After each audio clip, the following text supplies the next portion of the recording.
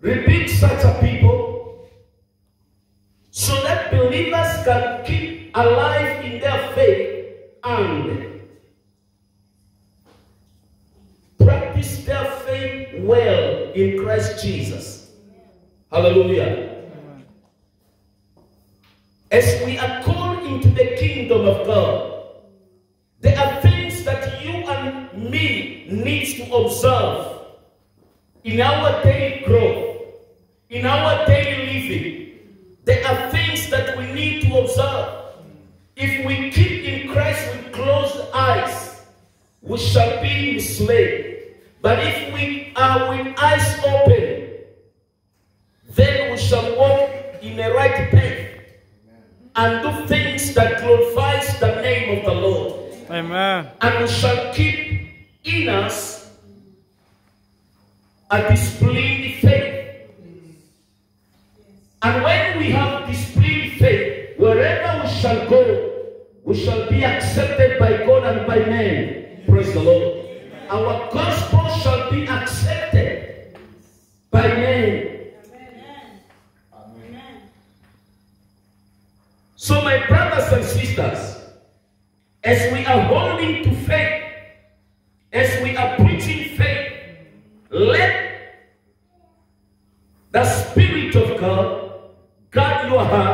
so that the faith which is in you may be a displayed faith alive so that you keep on preaching Christ in truth and in spirit.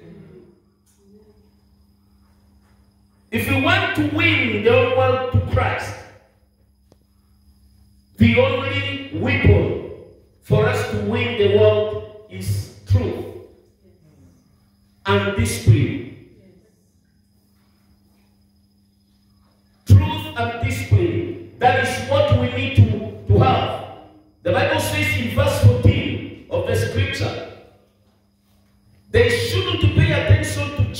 marks or commands given by people who are always rejecting the truth. Watch out, brothers and sisters. We are in the world today. 50% of preachers of the gospel are preaching their own agendas. But you are, you are sitting here under a leader who is humble, under a leader who is tested, under a leader who is straightforward, who is preaching the gospel without compromise, who is preaching the gospel, leading you into the destiny of God. Praise the Lord.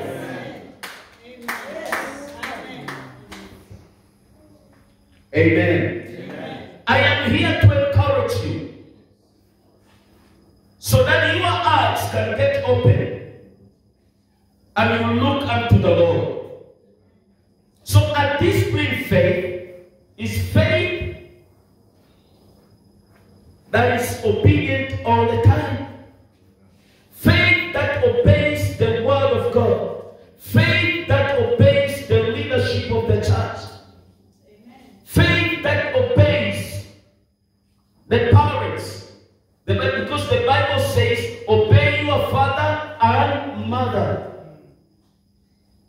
So I want to challenge you, brothers and sisters. If you have a father and a mother, but you have no respect for them, your faith in Christ is fake. Your faith is dead. You are exerc- exercising your faith in disobedience. God wants us to have a disciplined faith. Mm. Not only when we come into the house of God. In some places, when people go into the house of God, they so very humble. But when they're out of the, the house of God, they become wild animals. They become wild animals, doing crazy things, talking crazy talks, things that does not give glory to God, things words that does not show up that they are really Christians. Do we have faith? Is our faith real? is that the faith God has called us to live in. So our faith must be obedient. And we should show discipline in exercising our faith. To suffer. Discipline, faith accepts suffer. When we look at the apostles, what happened to them? They suffered, they went hungry, they slept hungry,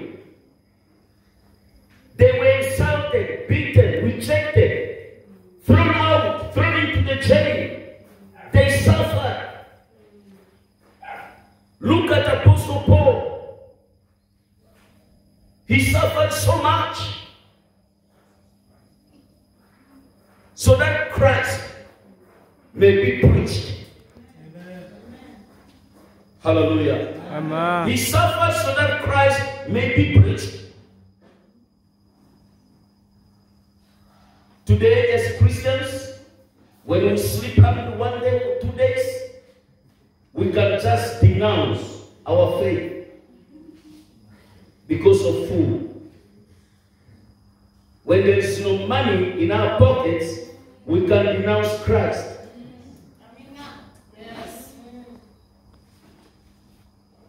Faith, uh, oh, displaying faith must accept to suffer.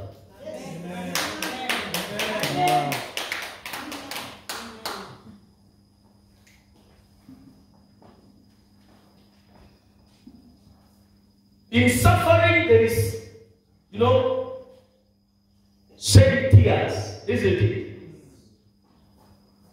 There's no one in this house that did not taste suffering. Even me, I suffered. And in suffering, you will actually shed tears. You will shed tears. But I want to tell you, when you are suffering or you are going through suffering, know that your blessing is at the feet of that suffering. Praise the Lord. Continue walking in faith. The next step you are taking, God will put your feet into your own places. Hallelujah. Continue suffering and rejoice because of the suffering that has come in your life. Count it joy, Apostle Paul says. When things are bad, count it joy. Then let the faith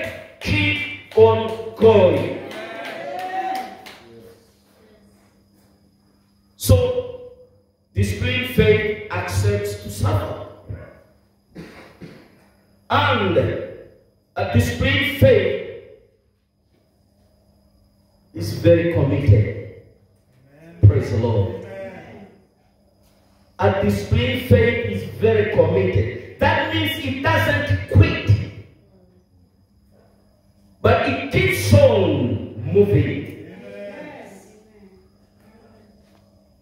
It keeps on moving. Let me tell you, when I began the ministry, I was uh, under a pastor, and the Lord spoke to me in 2000. Then I left the pastor whom I was under his feet. I left him. And I began a church with only one, eight people. Eight. That includes me and my wife in 2000. And by that time, I had only one son.